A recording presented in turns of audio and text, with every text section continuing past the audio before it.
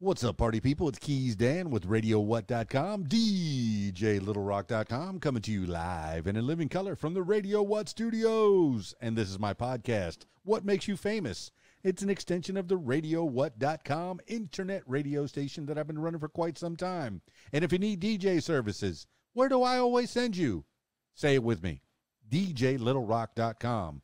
One more time djlittlerock.com. Check availability and get a free price quote, and maybe you can have me at your next event. You know I like to party with the people. The people need to be entertained. Are you not entertained? Let me entertain you. Maybe I'll sing for you. Maybe I won't. Make your next thing a big one.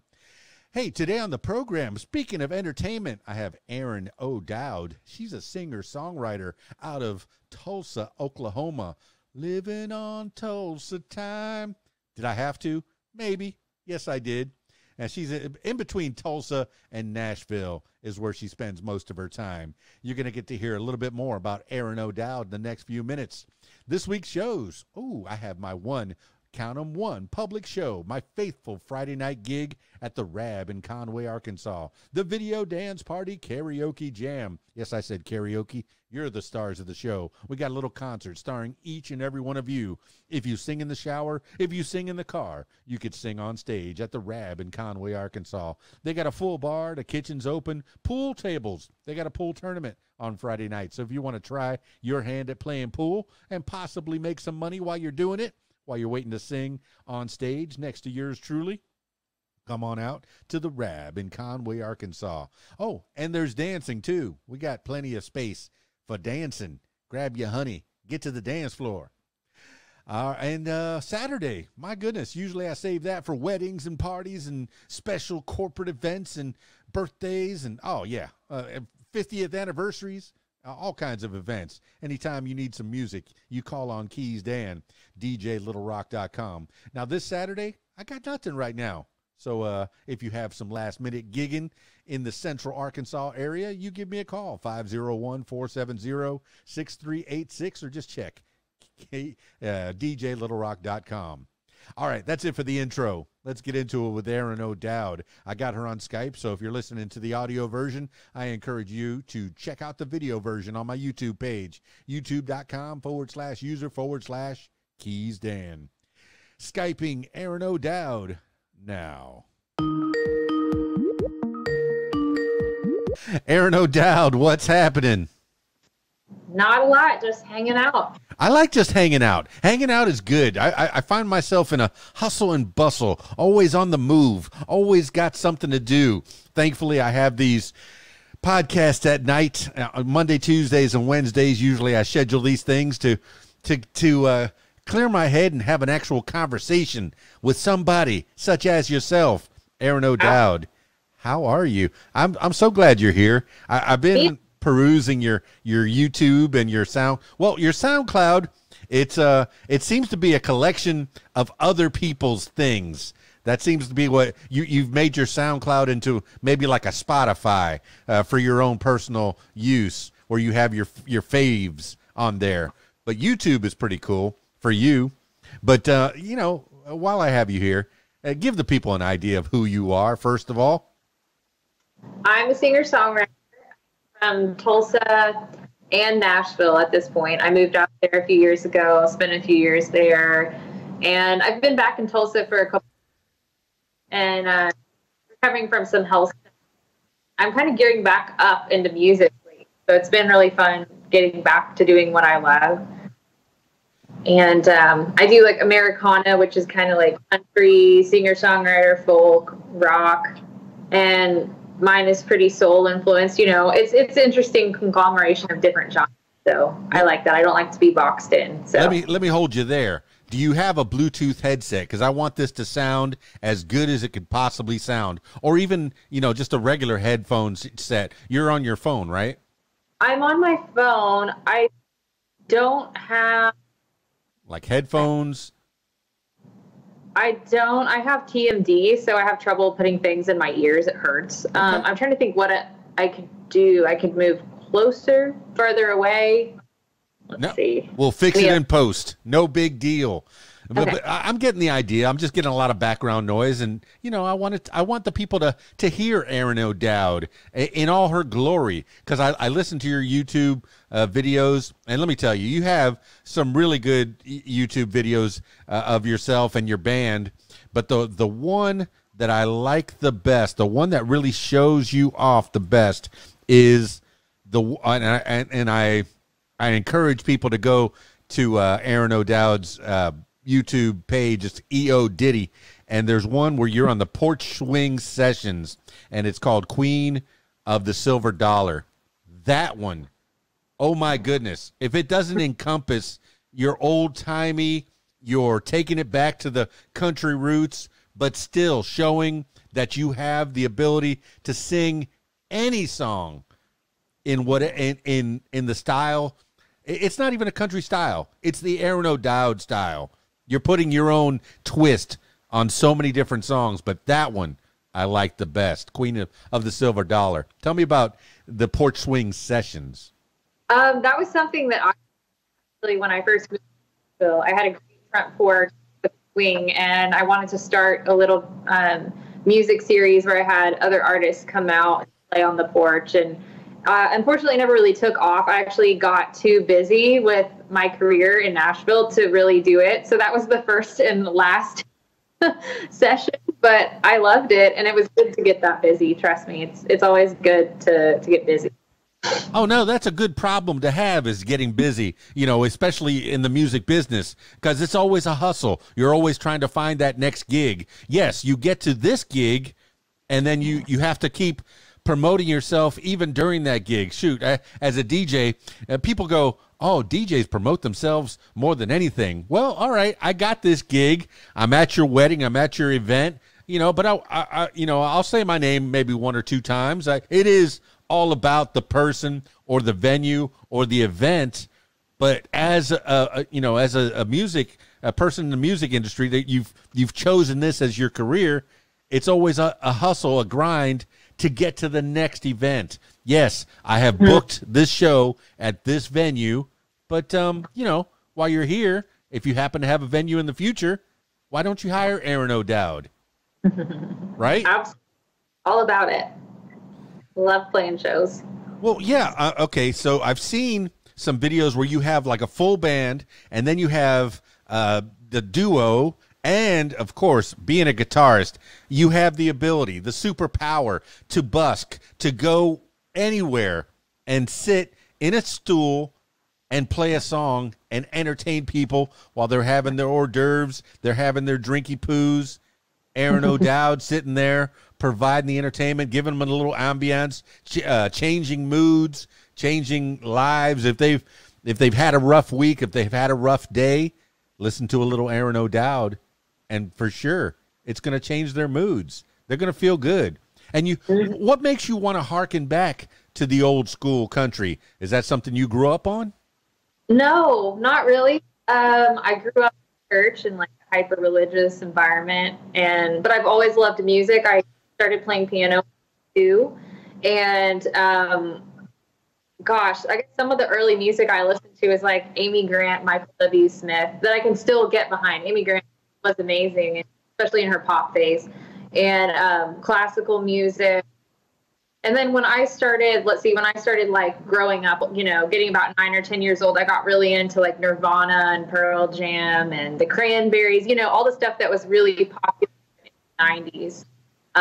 Because I am I'm an 80s baby, grew up in the 90s. So, yeah, that's when I kind of started to discover a lot of different kinds of. I mean, I would like Ginuwine and, you know, anybody, uh, TLC. So I feel like just listening to music um, shaped me. And and my family hated country music and made fun of it. But once i actually discovered real country music like willie nelson and um, merle haggard i think i got the highwaymen on vinyl when i was like 15 and i was like i love country music. Why did they say it's bad like i love this so much and so i kind of fell in love with it on my own and and by the time I discovered Emmylou Lou Harris, it was because people were telling me that I sounded like her when I sang, and I didn't know who she was, which is embarrassing. Now she's like favorite singer, you know. And I got to have lunch with her in Nashville and at her house, and it was just uh, incredible. Um, I don't know that she remembers me, but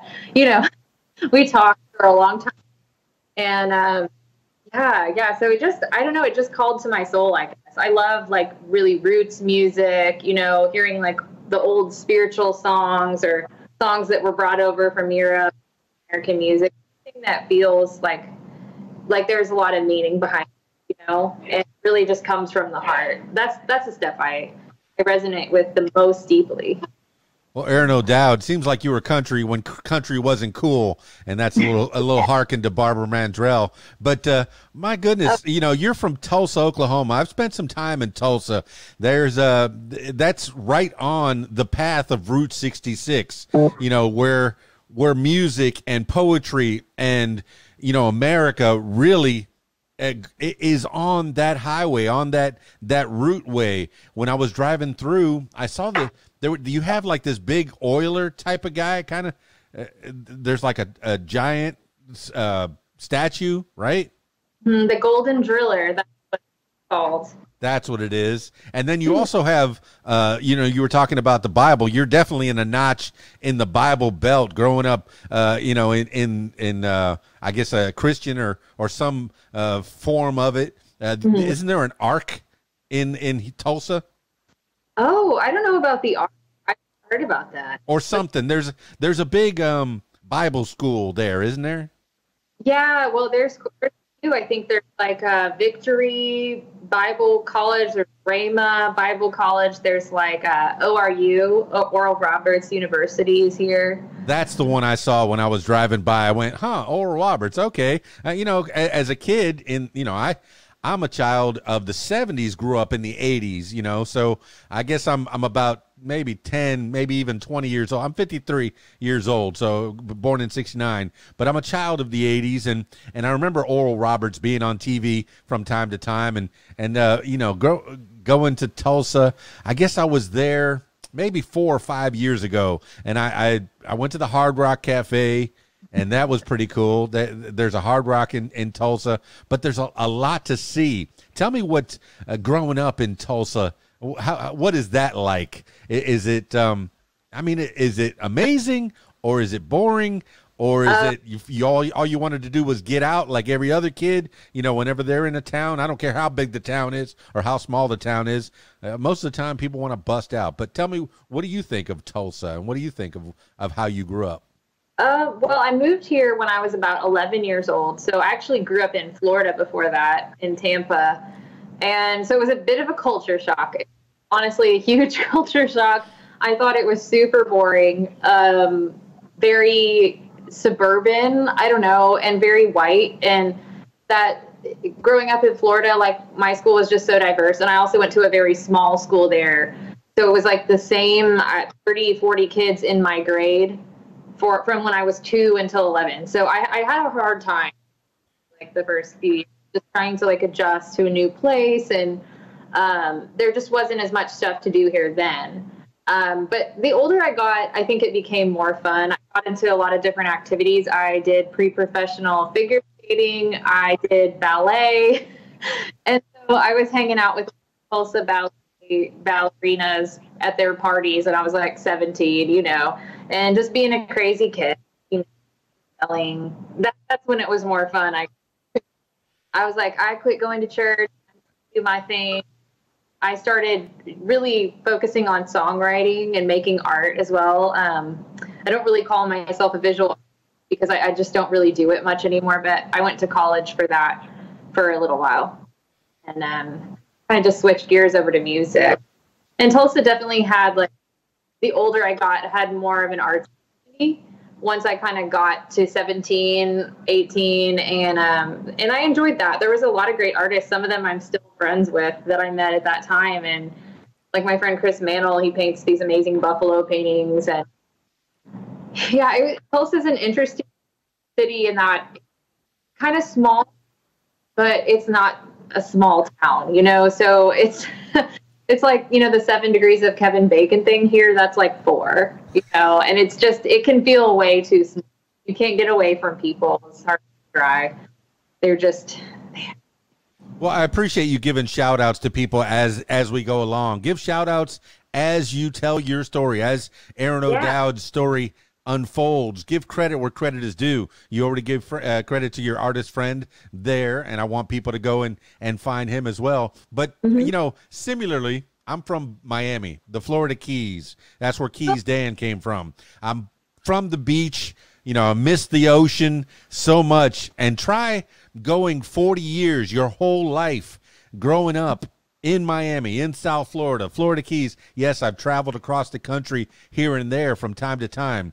But at 40, bam, starting all over again in Conway, Arkansas. Yeah, there's 50 50,000 people here, but it was different. You're talking about culture shock. I'm with you on that. I'm half Cuban, half Irish, you know, and I I think I I have a a, a cousin who's black as night, so I know that diversity is me. You know, I, I'm I'm a mutt, and we you know we we knew all kinds of people in our our grades, uh, uh, you know, in our classes. But then you know you come to another place, and it's a whole nother country.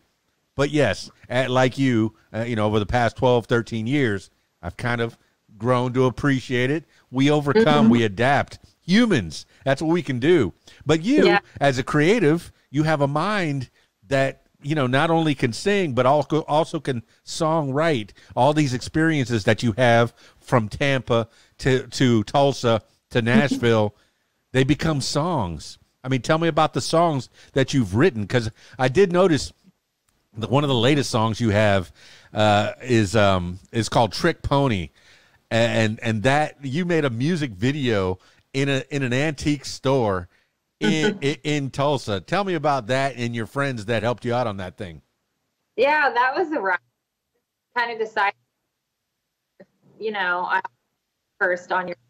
I'm sorry. I decided, screw it. I'm gonna make a music video. I don't. I didn't have a budget of any kind. I didn't have anything planned out, but I realized I know a lot of creative people, and I think I was at a friend's show, like a local show, and I started talking to my friend about.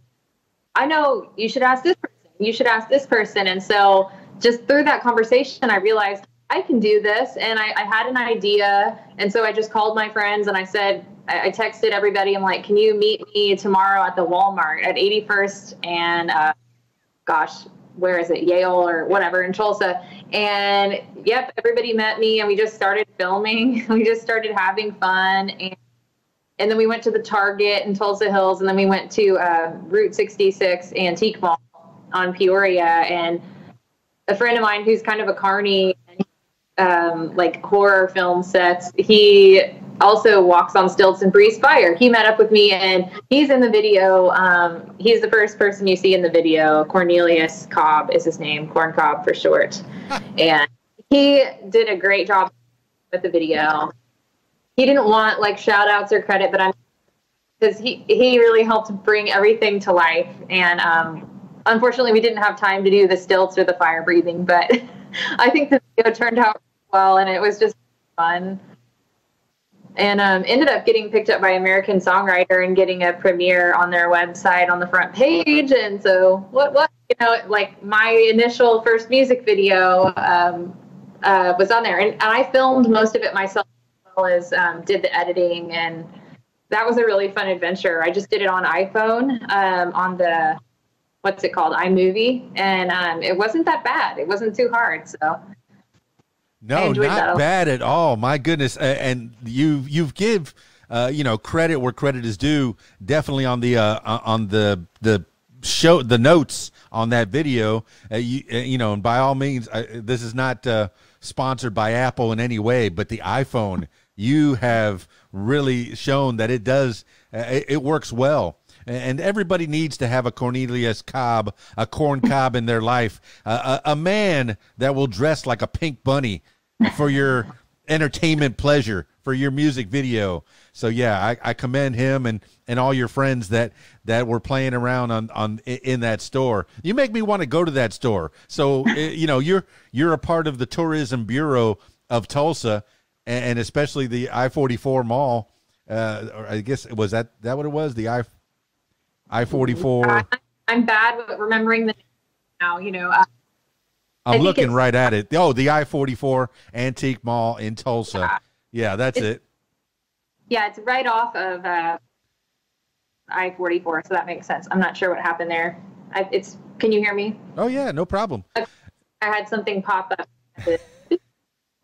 Ah, computers. They're wonderful, aren't they? Technology. Yeah. Now, here's another thing that you've capitalized on, and I hope that it takes off. Every artist, every musician, every uh, person that plays any instrument and sings, anybody that sings a song should sing a Christmas song any way that you want because that you know people will say oh how, you know how do you make money uh, in the music business with christmas music okay because that pops up every year forever and ever and ever if you get one that's popular. I hope that I Hate Christmas by Erin O'Dowd becomes the most popular Christmas song ever because that's mailbox money. That's money when you sleep.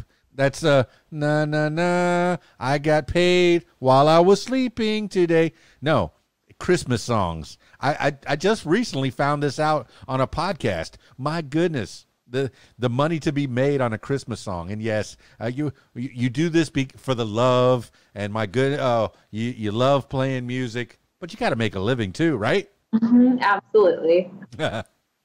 so tell me about "I Hate Christmas." I know I listened to it, but uh, tell me about that.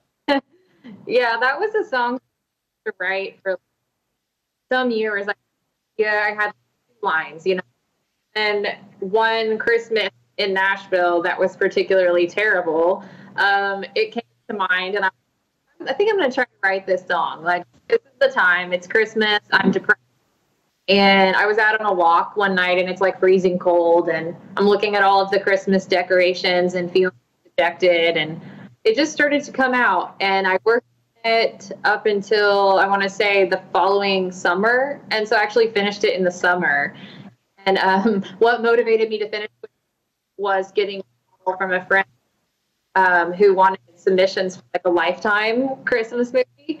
And I was like, okay, that's going to motivate me. I would love to have a sync placement. I've never done that before. And Clayton Colvin and I got together. He helped me finish the song. And I, I rarely co write, although I'm trying to bring out into that, but um, and probably will soon. He helped me finish it. He's an awesome singer songwriter, Clayton Colvin. He's out of Nashville and he's played shows with like Jason Isbell. He's a great guy. And um, so we recorded the song with our friend Corduroy and um, at his home studio. We were his first client. He is also a very talented um, band leader, singer songwriter. He does like cosmic country and um, some soul influence there. That's awesome.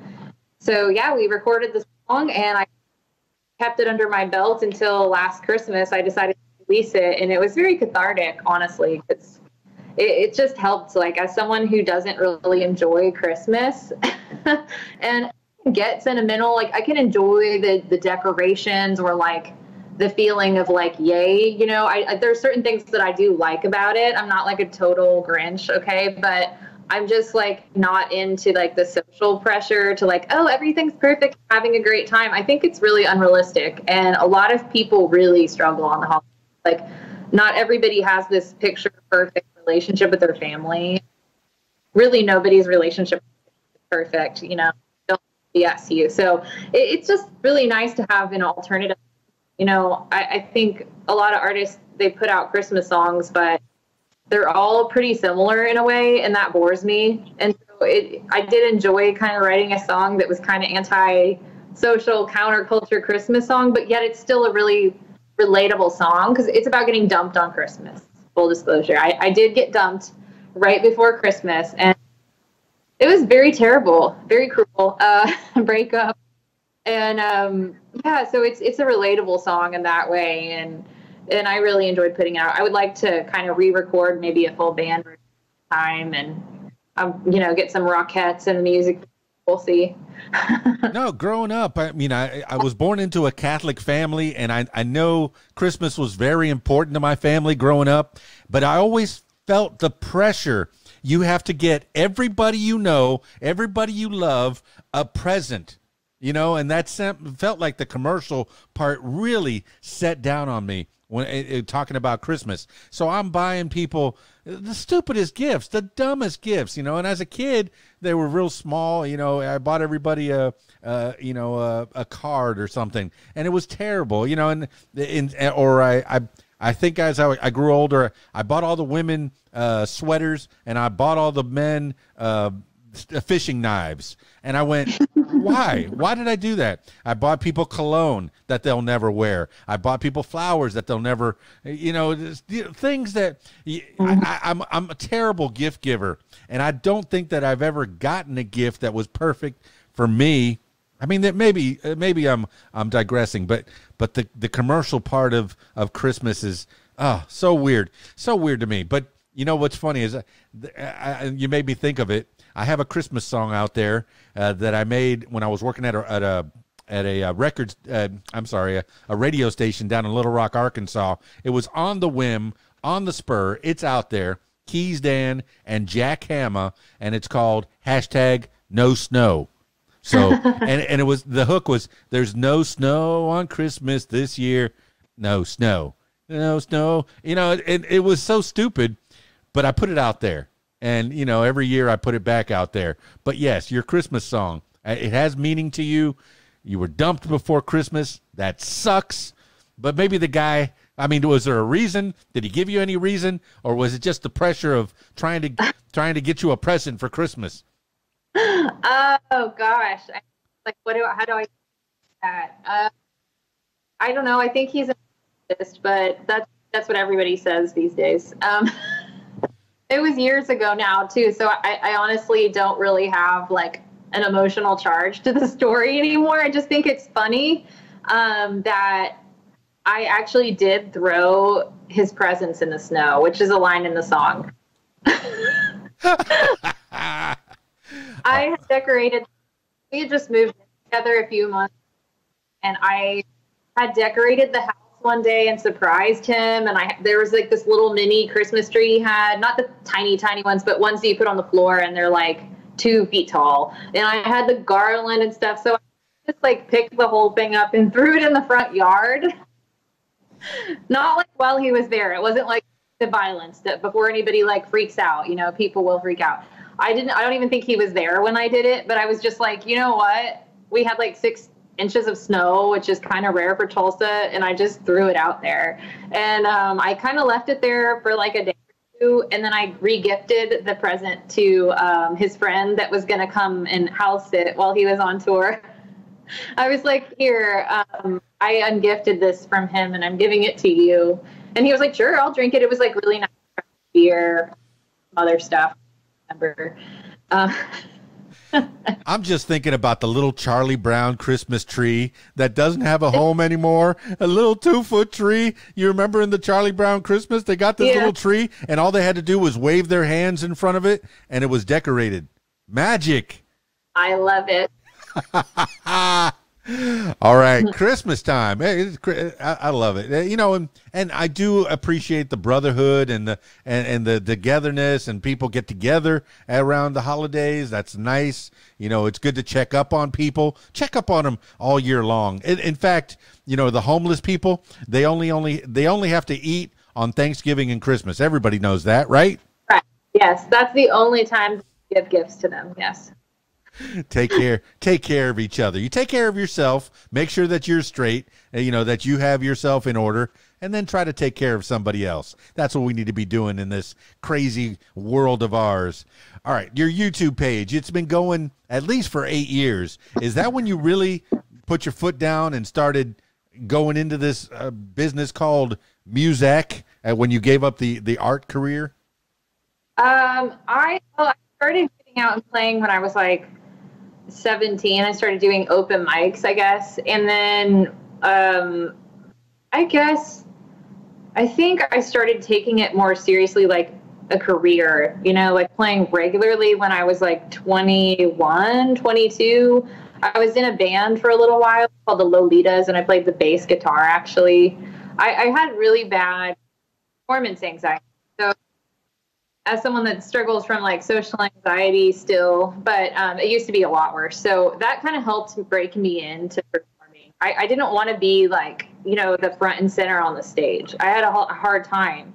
So, you know, a couple of whiskey and then just being the backup bass player like that made it possible. And then I kind of got tired of playing that band. It wasn't really going anywhere. And um, I was just kind of like, eh. So that kind of ended in my own thing. So that was really a good, um, you know, how things like they don't work out and it's kind of disappointing, but then actually it makes way for something better. And that's, that's kind of when I left that band. It, it really was a good, good timing for me to start taking, taking it more seriously. And I'm glad I did. Well, I, am a guy that likes to support local artists, and I, am a fan of the rhythm section. I like the bass player. I, I, I like the, most of the time I'll, I'll, go see a, a band and I'll watch the bass player because they got bass face. Whenever they're whenever they're playing the yeah. bass, they really j- jam it up. I, you know, you saying that you were kind of a, a shyer person with a little bit of stage fright. That you at least you know, when you were playing the bass, really get into it and, and you know, tongue out oh. and teeth and ah, just having fun with it? I don't know that I made like that face, but I, I, I think I had a face. I don't know what it was. Like usually in the pictures, I'm just like real stoic, you know, standing back. But I loved it. It was it was fun. I enjoyed playing with the drums and that interplay between the drums and the bass and like finding the, the deep pocket and kind of grooving back into the pocket. You know, I would love to play bass. I would love to, you know, play bass I think that's really challenging, actually. And there's a couple singer songwriters I know that do that. Um, Lavere, she plays the stand up bass and sings, and she's wow, it's incredible. Um, I'm trying to think I've seen do that. It's really impressive. Well, I'm I'm thinking of Sting and Paul McCartney. Hello, you oh, know. Yeah. These are two bassists that that made it huge, and then you know Flea. He doesn't sing all that much, if he if if at all but I mean, one heck of a performer with the bass. Oh my goodness! You know, he he he made that bass really a, a part of the show. You know, just getting out there and mm-hmm. having fun with it. But yeah, the rhythm section, that's what puts the feet on the dance floor, you know, is that bass, that drum beat. That is what's driving the music. And then, yeah, you have your, your lead guitar, your vocals, and that's what uh, tells the story you know. Mm-hmm. But uh, but I mean, uh, did you did you take uh, like r- real training uh, to learn guitar, or do you can you read music? How did you how did you first learn how to play guitar?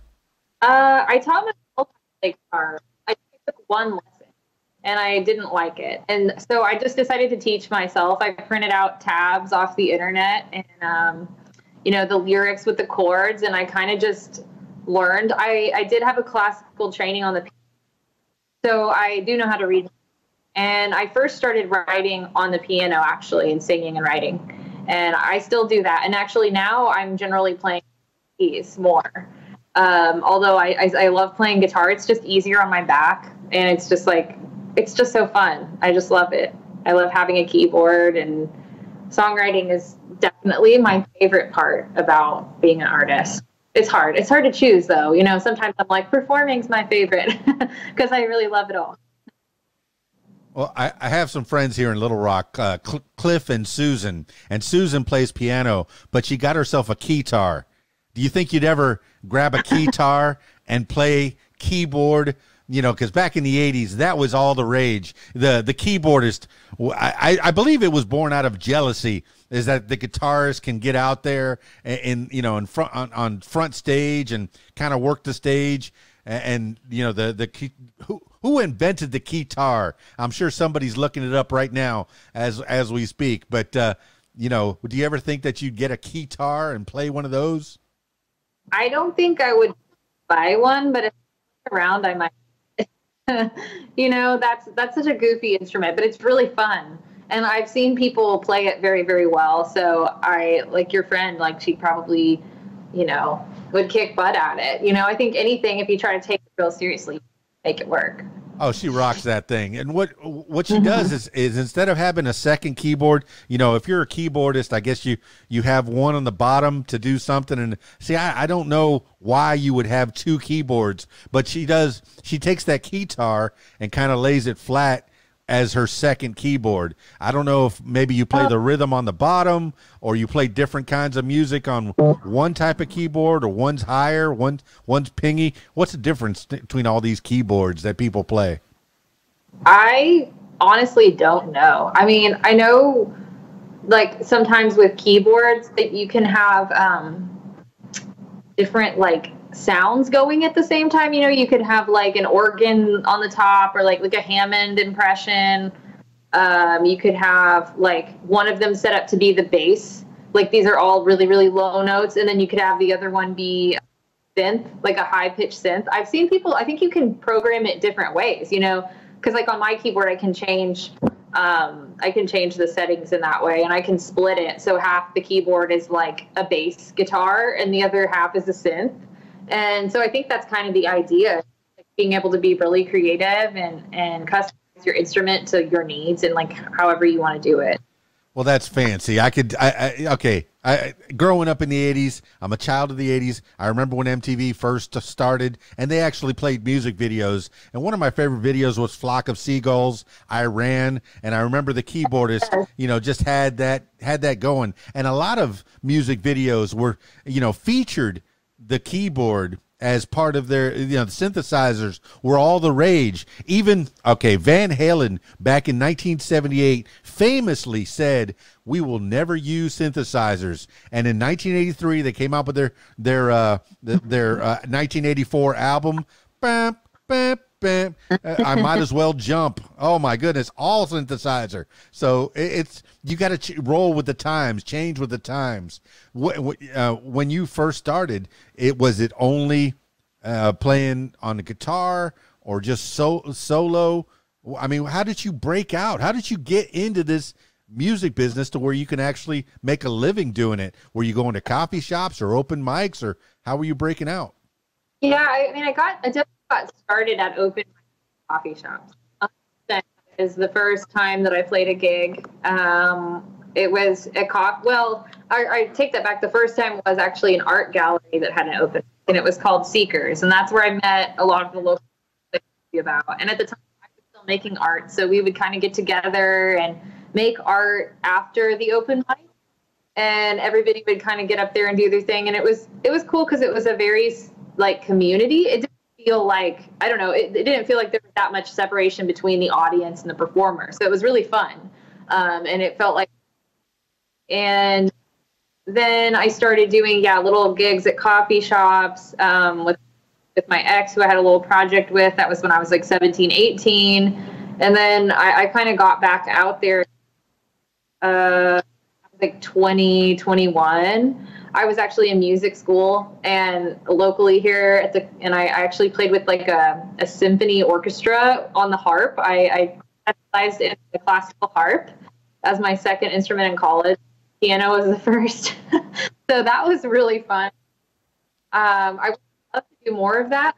I kind of I decided that um, finishing my music degree was not going to be worth it for me. Like it wasn't what I wanted to do um, classical music was not what I was trying to do, and I was working, and it was just like too much, you know. I need to like pay the rent, um, but I would love to get a harp one day. It's on the books and the plans for you know when the house and the pool Erin O'Dowd, yeah. If we go to an Erin O'Dowd show, I want them to roll in a harp, and that that'll yeah. be a surprise. That'll be magical. I mean, uh, you know, I, I talked to some people here, and you know, do they have special skills? Yeah, they juggle, or they, you know, they can do cards or whatever. Just break that stuff out, or or they play trombone, but they, you know, but they also play.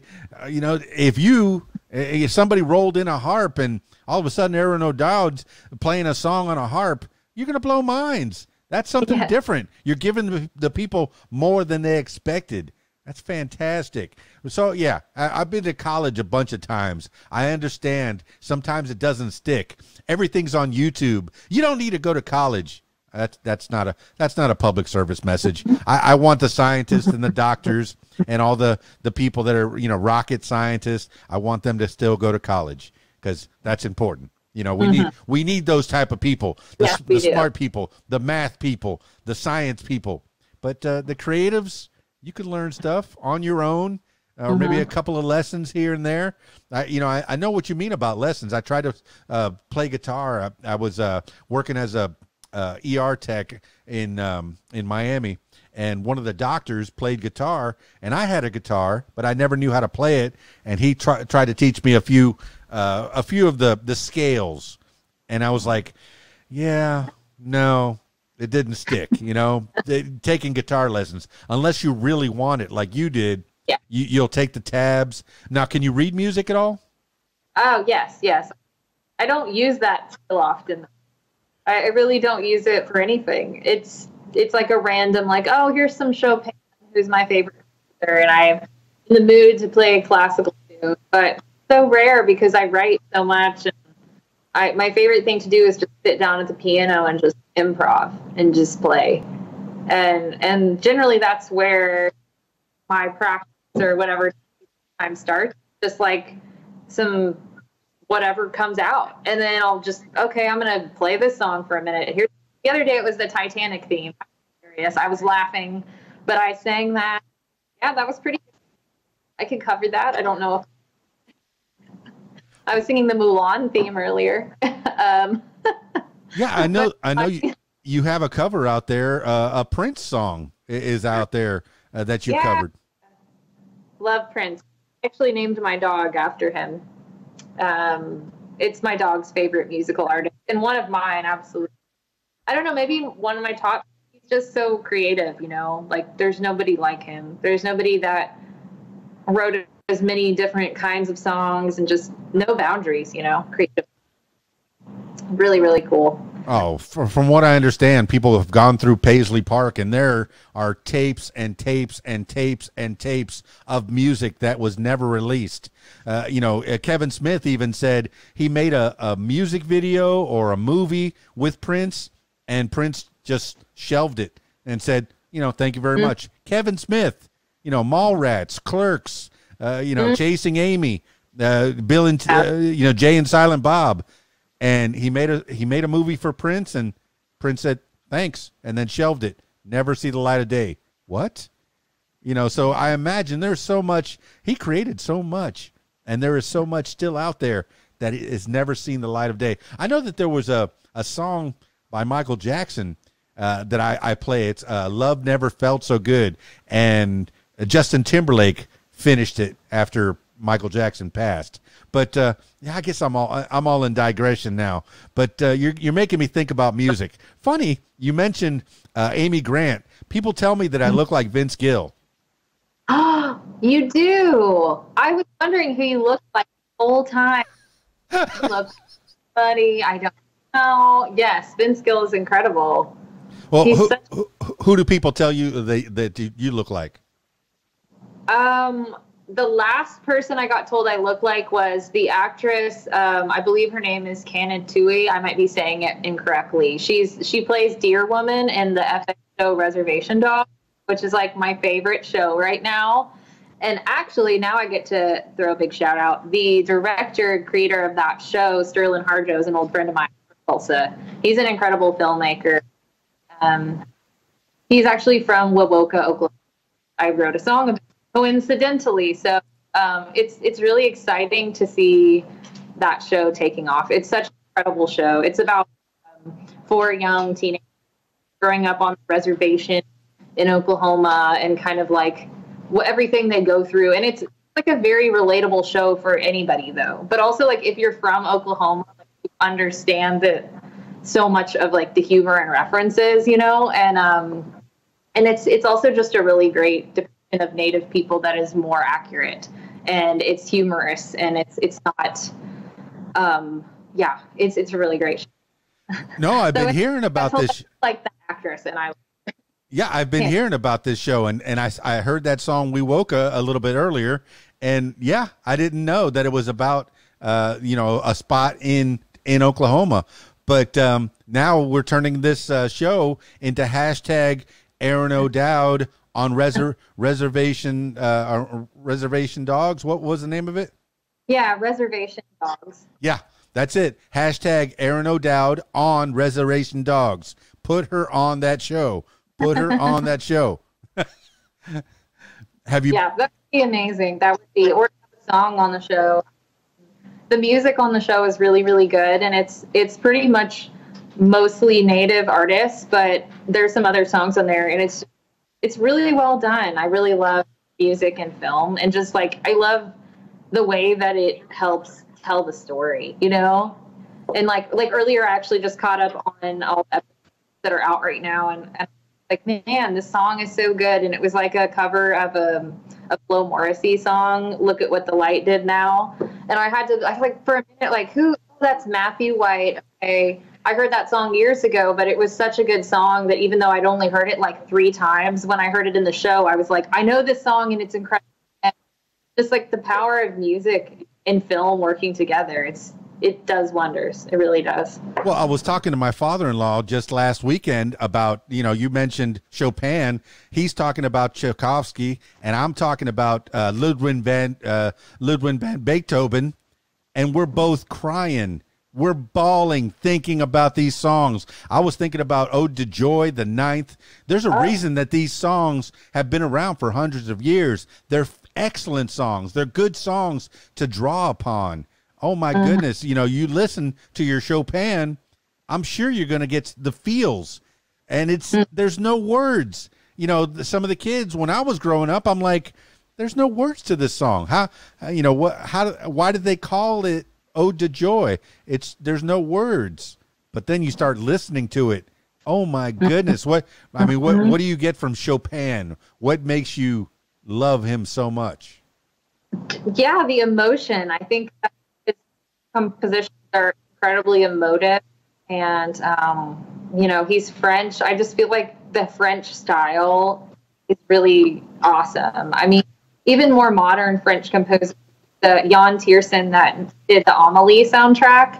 Um, and I guess now that movie is kind of dated, but when I was in high school, that was like the fun, artsy kid movie. And it's still one of my favorite movies. The songs, just like Chopin, they really just like take you on a journey. And it's so engaging. Like if you just close your eyes, you're just like, you don't need a, a smartphone or you don't need visuals, you know, like the music enough is just transporting. Like it's, I think that's really what what does it for me. The songs are also just so interesting. You know, he, he I don't know if he went out of his way to make them interesting or he's just that's his expression of himself. But you know, I know as me as a writer, I want things to be boring, and sometimes I do. I'm like, okay, that's too typical. How can I make that more? But other times, like simple so I think with within his songs, there's kind of a macrocosm and a microcosm for that. There's just a lot of different textures and sounds, and it's just really wonderful. I mean, but you know, you you want to keep it interesting and not boring, but then again, you do want it boring. You know, you have to you have to get on that tightrope between commercial and what you really want. You know, the and somehow, you know, you want to sell some albums, but then you want to be true to your artistry and it's kind of oh it's that that balance. Uh, how do you keep how do you keep so high on that balance? How, how do you do you do everything just because you love it or do you keep in the back of your head you know if i do this four and four and talk about this this uh, subject matter nah, i'll probably get a hit out of it. Well oh kind of a hard but I have to quote uh, someone who I I watched their master class last night. It was like a Spotify for Artists master class. Just caught my eye. I finally watched it, and he's an artist manager. His name is Amit Nerurkar, and he manages several artists um, that I had not heard of, but they're they're pretty big. They're just like not in my genre. So, um, but his some of the artists he's worked with, like Run the Jewels. You know, everybody loves Run the Jewels.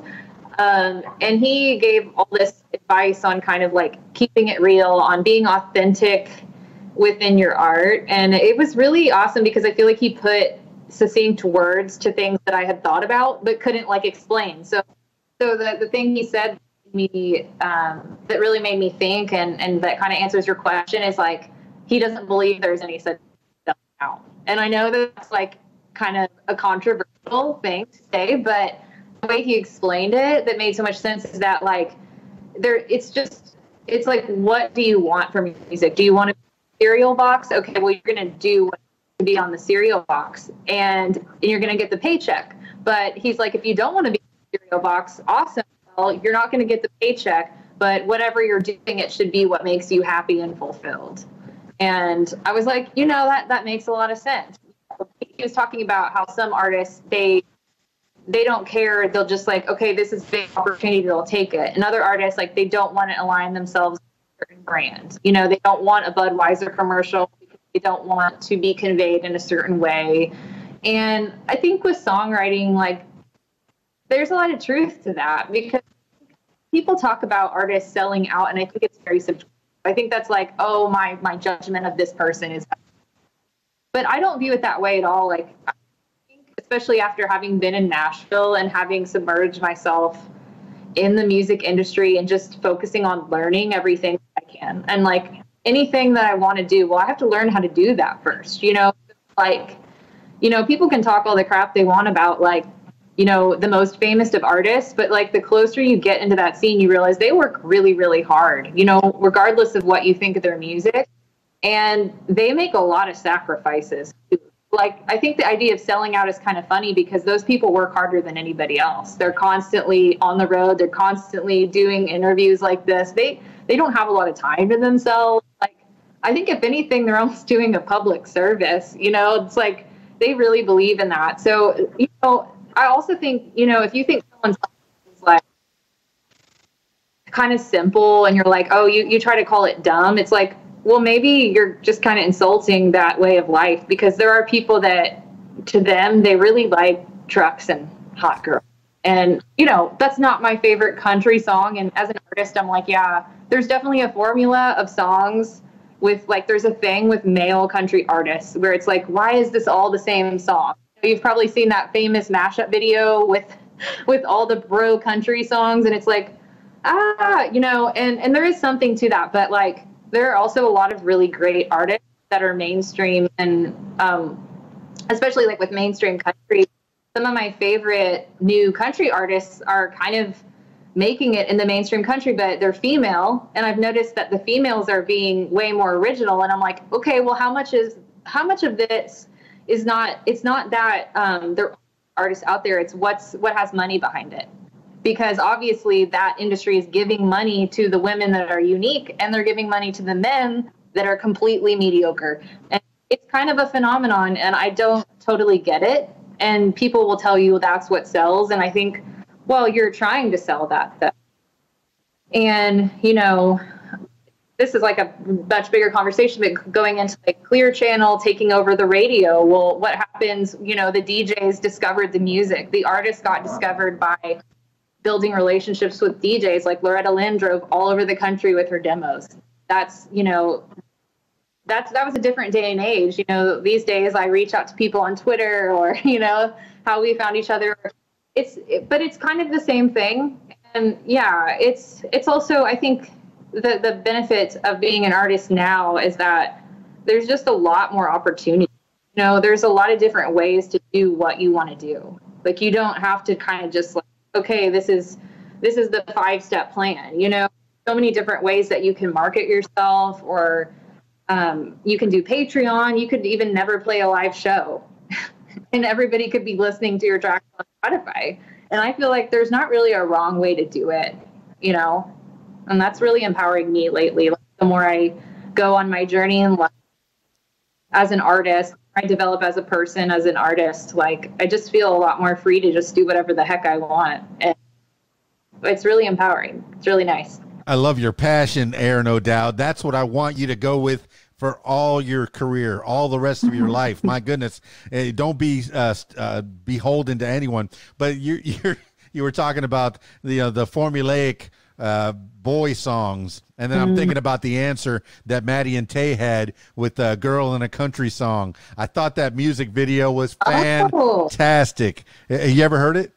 I actually haven't heard of that. Okay, Maddie and Tae had a, a a song called you know I'm a girl in the country song, but the video is all you know men, eh, you know robust men, maybe men that aren't in the best of shape, uh, mm-hmm. wearing their overalls and getting sprayed down while they're washing cars and you know st- stuff that typically would be uh, misogynistic, but uh, the reverse of that, you know, uh, getting getting played on the men and it, it's a, it's a girl in a country song by Maddie and Tae. I thought that was a, a pretty good answer to the bro songs about uh, girls and trucks and and a beer and a Ford and a fish and a you know a, a very formulaic songs. But then you know you listen to some of the the boy bands while you were growing up in the 90s it, you know uh, break my heart tear us apart uh, yeah. you know n- never see me, me go i want to love you so. It's all you know it was all formulas.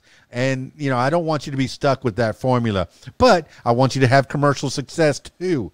And once mm-hmm. again we're on that tightrope uh, you know wandering through. But you know, I see um, Taylor Swift, you know, the one of the greats. Uh, she's uh, doing her own thing. She re-recorded all her mm-hmm. masters so she can own them. And you were talking about, um, you know, girls that that are are making it and and being original and being different. Gretchen Wilson, I love her. You know, and, and Maren Mar- uh, Maris, you know, Morris, I love her.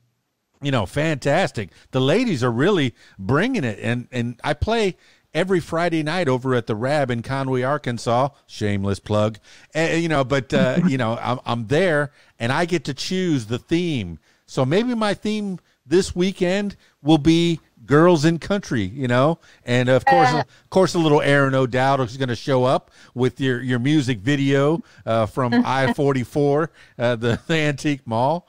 But uh, you know, I appreciate that so much, man.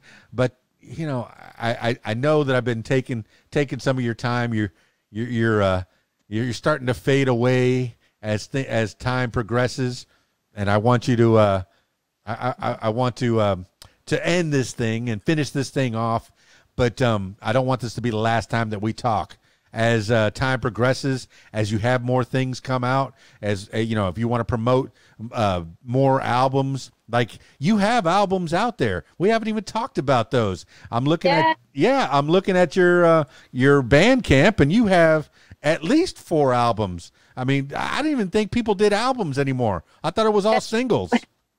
Those are actually some of our singles. I have one album out called Old Town, and you can find it anywhere that um, things streamed or watched. You, you can also buy it wink, wink, nudge, nudge, on the Apple Store. Bandcamp is, as you've been mentioning, is the best place to buy it um, because that way the artist actually gets the money. Uh, with Apple, like I get a pretty good chunk of it. Apple is better about paying artists than some of the other stream, streaming platforms, but um, yes, I have several singles out. Um, the Christmas song you mentioned, then there's um, Robin's Egg Blue, Silver Lake, and I'm working on a ton of new music right now. So that's kind of the focus um, is writing. And then I'm going to hopefully record in the next year.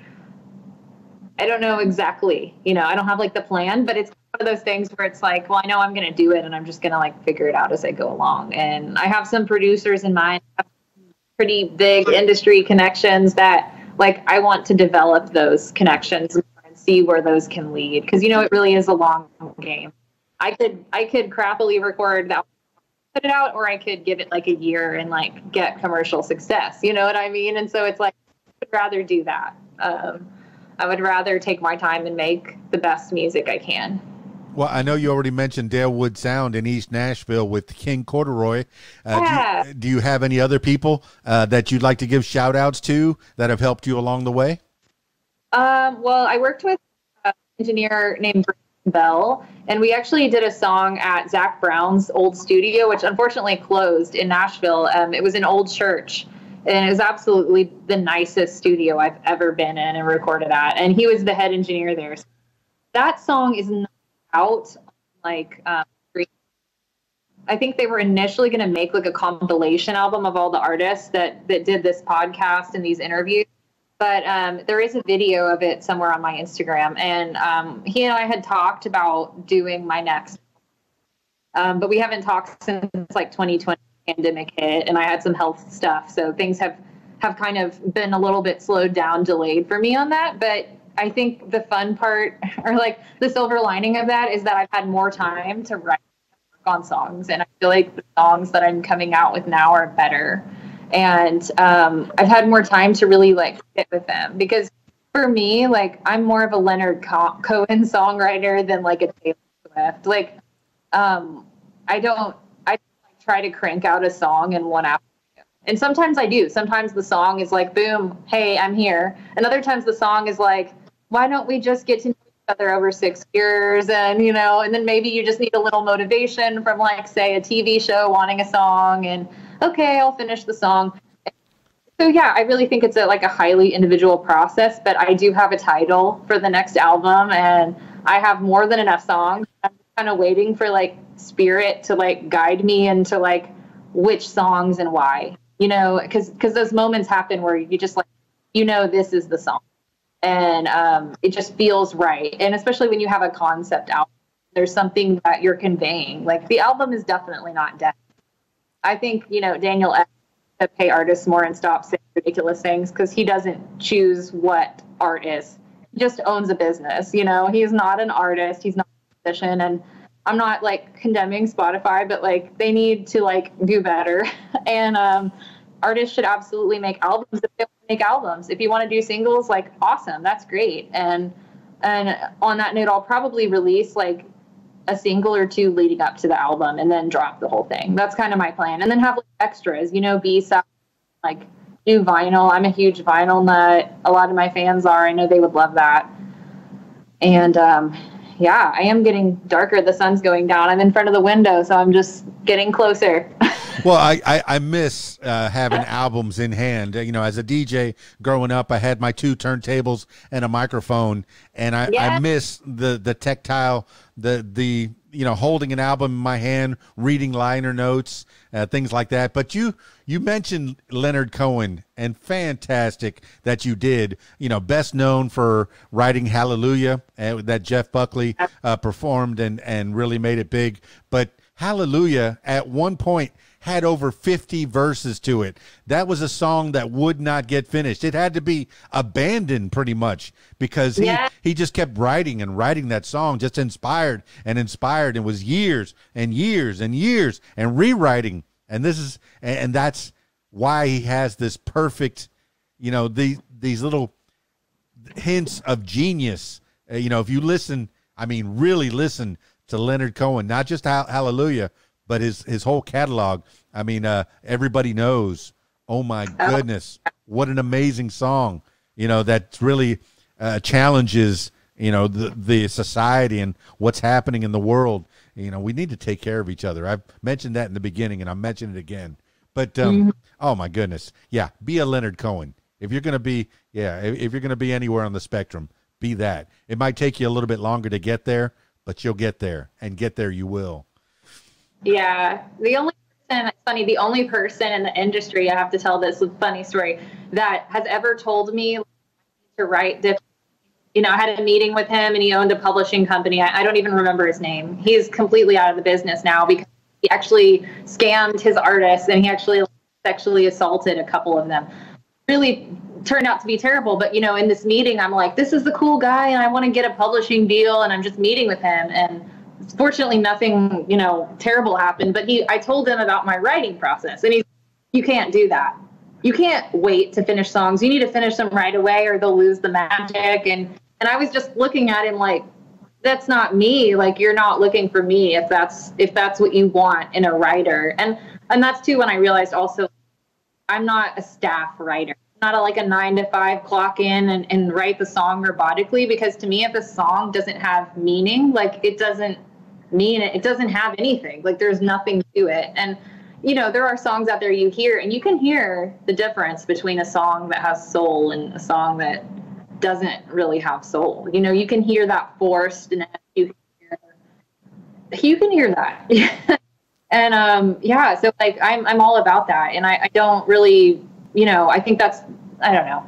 I'll let you ask me more questions. for like no, I, hey, I love it when you go off on a tangent and start thinking about things. This is when the podcast really gets interesting. Is is you yeah. have you have these thoughts that maybe that have been bottled up inside. And speaking of bottle, sometimes songs are lightning in a bottle. Bam, yeah. they get written in two or three hours and recorded in the same uh. day and then become mega hits. That can and has happened. It's few and far between. You know, sometimes it takes you know the process takes time. And i feel for the artist that that writes their first album and they've had their whole life you know until they were 21 22 years old to get that first album. And then here's a record company says all right do it again in a year or two. Do it again exactly the same but better. You know and you've had your you've had 22 years to do that first album. And now you have 2 years to do that second album you know yeah oh it's so so much pressure but don't yeah don't let it get to you you're, you're gonna stay you're staying independent or have you been approached by a record company to uh, to help you get your career to the next level um, I wouldn't say like approach. I had certain opportunities that I chose not to pursue in the past. Um, some of these labels that have a good amount of clout are actually kind of like pay to play. Well, that's maybe not the right term, but you're them. And I'm like, that's not really sustainable for me. And, you know, I guess if you have a lot of money saved up and, and you want to do that, that's fine. I've seen it work for people. I've seen people go on to get Grammy nominations working with this company. They're great. Um, I, I chose to work with a small record label um, that's in Tulsa for the first album. Um, and I'm glad I did because I didn't know what I was doing as far as like trying to release my own record. But after being in Nashville a few learning, just observing, asking questions. I'm really confident I can release an entire album by myself if I choose to do that and do all of the promo. Um, I did have like a press deal for the first album, um, so I had, but a lot of the stuff I've done has has come to me, you know, as a result of putting myself out there, doing doing my thing, you know, and so I don't know, you know, like we'll see what happens. I, I, definitely have some major label like contacts, connections, but I think it's really going, what it's going to come down to is like, who is going to be the best supporter of your music? And, and this is the best advice I maybe have ever got. I don't know who gave it to me. I've heard people say this, but like, if you, it's the same thing picking an artist manager. Like, if you're going to have someone kind of have say over your your music release and your decisions they need to be as passionate about your music as you are period. They need to be a complete cheerleader for you. Otherwise you're just going to fall by the wayside.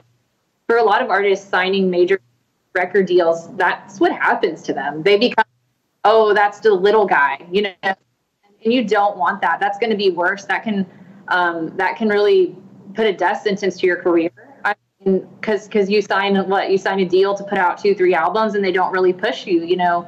Um, so yeah like I'm, I'm definitely just gonna feel my way forward as far as like what i decide to do and um, you know see what happens. I'd be perfectly happy putting the record out myself if that's gonna be the best way of doing it because like i know what i want you know? Like a taylor swift minded person in that way like she i know she um, comes up with her music video ideas and she directs them. Like she is like the driver's seat, and that's 100% how I am. And I'm like, I'm not going to let anybody take over that will change my vision. Like, absolutely not. Like, I have a vision. I'm an artist. That's why I do this. So, yes, I would love commercial success. Never sacrifice my art for that. And I think what's great is like, I don't think you have to think less than ever. You don't have to. And like, there are ways to do. It. And some of the some of the best artists out there are just completely independent and have always been. And and they're they have like the most loyal following in the world because their following knows like hey we're the ones that pay their bills you know? And they love that. I think that's the thing about music fan and i'm a music fan is like i love supporting artists. I love knowing that like me buying their t-shirt helps feed their kids. Like there's just something really cool. And then i get to listen to the music and enjoy it and like I really value the art. You know, I think as as a society, we need to value art more. Um, I know many of us do, but it's it's sad that you know art is devalued and we expect it for free, and we you know everything's free, and like it's there's so much work that goes into an album release. Like most people have no idea. Or even playing a live show, like all the hours you spent practicing your instrument, writing your song, buying your gear. Like it's one of the most expensive, you know, um, careers. And, and you're just starting out. Just wait till you do your taxes. Well, yeah. um, you'll write everything off. Um, so yeah, it'll, it'll be a fun adventure here. I, I'm just really excited. I can't wait to put more music out and like see how it touches people too. I think that's like the best thing when people give you that feedback and it touches them. It's like the best feeling in the world. Well, you're giving the people gems, Erin O'Dowd, and yes, the music business so tough. Uh, you, you can it can be rewarding. Yes, the money's good, but the, the money can be good, but the work is not steady. And mm-hmm. health insurance, you got none for the most part you know, unless you buy your own, which is so expensive here in this country, in the U.S. of A. You know, and I hope that that changes at some point. I don't want free health care. I want, I want affordable health care. I don't want free school. I want affordable school. You know, some something's got to give here. So you know, uh, uh, we, we have the ability to take care of each other. There's so much uh, capital in this country, but you're talking about, um, you know, with social media uh, you know, some of these record companies won't touch you unless you already have a following of tens of thousands of people. And then they approach you because you're already making money and they want to take some of that money. Yeah, that's that's not at all the way that people should go, you know. That's I've seen some feedback on that lately from people talking about like how their record label told them, "We're not going to release your single until you have a viral TikTok." And I'm just like, what? Like a TikTok? Is this why we're making music? And like, I kind of hate TikTok. I have a TikTok. I, I started it. It can be fun, but I think it's just like, I don't know. There's just so much that goes into like making each video and like time wise, like there's only so much time we have as an artist. And I, I want to spend my time making my art the best it can be. Yeah. You know what I mean? And I know a lot of artists have social managers. I don't at this point. I do that all myself, and I know that that's something that could that could help me to like supplement that activity because it really takes a lot out of you. And in um, one thing I noticed too is making a TikTok, um, making an, a reel or or whatever on Instagram, um, which I, I prefer Instagram, but um, it takes creative energy too. And when you expend that, you're kind of taxed. You know, you're kind of not thinking about the songwriting that day. You're like, oh, I'm kind of worn out. Uh, that's how it is for me. So I, I think that approach is really hard to like art, you know, bring slow art back, bring like not just trying to churn out content because you know like i see some artists that are are famous just because they have good content. And that's fine you know be entertained. I'm not ragging on it but like it should be about the art. Like you're a musician make the music you know what i mean? So that's that's definitely like oh, no not not my approach. Although like social media is fun and I enjoy building my social presence because like you're building a following and it's really wonderful to have that. Like you need an audience as an artist, and if you're not out performing constantly, um, like social media is a really great way to kind of like um, supplement that. So for me, like going through health challenges, like been really nice to have social media to keep my art alive and yeah, social media, you know, uh, double-edged sword for sure. Like it brings a lot of perks for artists to communicate with their fans, and yeah. it can be used for good. And Erin O'Dowd, and my listener, before you start sending emails, I know that we're talking about uh, the making of content as we're making content. Yes. all, right. all right, let's let's take this thing home. Uh, Erin O'Dowd, um, I found I found your link tree. ErinO'Dowd.com is not working right now, but I did find your link tree, and I found the um, your various social medias. Uh, Erin O'Dowd, Erin Dot O'Dowd, point ninety two, um, and then EO Ditty. I like that. I, I like that. I found that uh, your Twitter is EO yes. Ditty and your YouTube is EO Ditty. So uh, why Ditty? Um, a ditty is just like a funny word for a song. So it's a ditty, like I think, I don't know where that came from, but I think of it like a jingle. Um, so I'm always writing songs and I'm always singing like silly little songs, like dog and Um, you know, I, I don't know. It just came in my head one day and I decided to use that. EO are my initials. All right. It's like EO, Erin Song, you know. Erin O'Dowd, I'll be following you around on your various social medias. We'll be keeping in touch from time to time. Come on back anytime you want, anytime you want to promote something new. I've had a, a, a sincere pleasure talking to you and finding out more too. about you. you. Now, I usually, uh, do you have anything else you need to divulge to the people? Well, I will promote upcoming show, and it's my first show back since my whole um, health thing. So it'll be during Americana Fest week in Nashville. I'm playing uh, Sunday, September 18th at the Yazoo Brewing Company, and it's actually in Madison, Tennessee, but very close to East Nashville. So I'm playing with quite a few other artists, um, doing an in the round set from 4 to 5 p.m. September 18th, Nashville, Tennessee.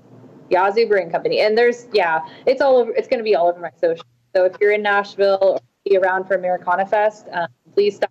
It's a free show. You can bring your dogs, your kids. Um, there's food, there's drinks, alcoholic and non alcoholic.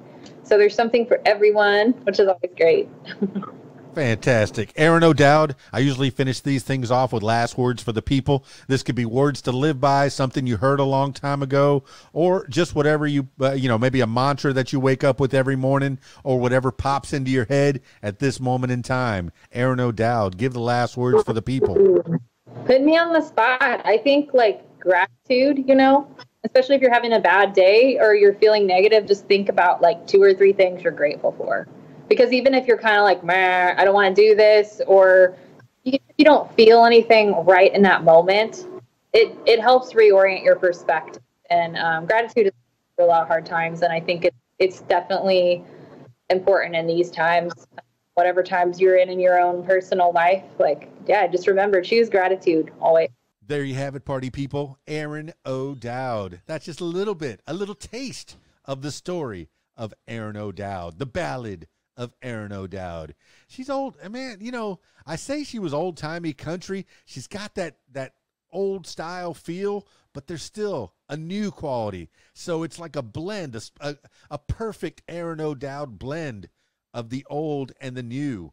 Not your typical country song that you might hear, you know. And there's nothing typical about Erin O'Dowd. She's fantastic you know, and now and she's going to be. It's just the beginning. She directed and starred in her own Trick Pony video that she, you know, she scouted location for it. Uh, you know, uh, so uh, yeah, I, I see big things happening. Not just a singer songwriter, but also a director of music videos, possibly short videos, and possibly features. Uh, you know, she's got that creative uh, that creative background that she got back in school and switched it over to music. I think it's all going to blend. It's all going to come together. The foundations are already laid out. The bricks are already laid out uh, for a great foundation. I can see this building, this Erin O'Dowd structure getting higher and higher, and just oh, uh, there's nothing you can't do. Uh, you put your mind to it, Erin O'Dowd. You you got this and I appreciate knowing you, and I appreciate you being on the What Makes You Famous podcast and telling a little bit about about yourself, a little of your story. Now, uh, now, oh, now that's it for this edition of What Makes You Famous. If you, yes, you, my loyal listener, if you'd like to tell your story, I encourage you to give me a call, 501 470 6386, or email keysdan at AOL.com. That's it for me. It's Keys Dan, RadioWhat.com, DJLittleRock.com. Peace. I'm out of here.